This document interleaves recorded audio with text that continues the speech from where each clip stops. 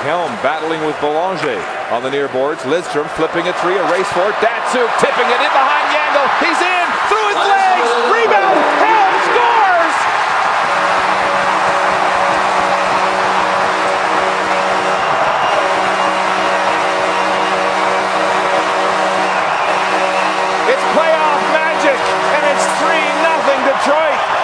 And it's all capped off by Mr. Datsyuk and Helm, the trailer. Detroit comes out en masse. A little chip play. The area pass into the neutral zone. There's the magic wand and creativity of Pavel Datsyuk. Feast your eyes on this play. He executes that play at full speed. You want to talk athleticism and body control. And the good thing for the Wings, the Wings also have Helm busting to the net hard, and he's able to put that in, no mistake.